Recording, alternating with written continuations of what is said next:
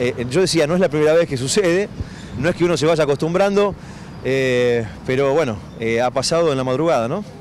Pasó el- la madrugada del domingo, va, lo descubrimos el domingo a media mañana y bueno, eso, lo que vo- vos contabas un poquito. ¿Qué fue lo que robaron? ¿A qué hora aproximadamente? Bueno, descubren justamente, ¿no? Este- No, lo descubrimos a media mañana, calculamos que fue en la madrugada cuando no había mucho movimiento y lo que descubrimos, bueno, algunos lugares eh, rotos, algunas puertas, rejas y, después, bueno, eh, faltaban algunas carpas, gazebos, mecheros, algo de alimentos que habían juntado chicos para, para el campamento de octubre.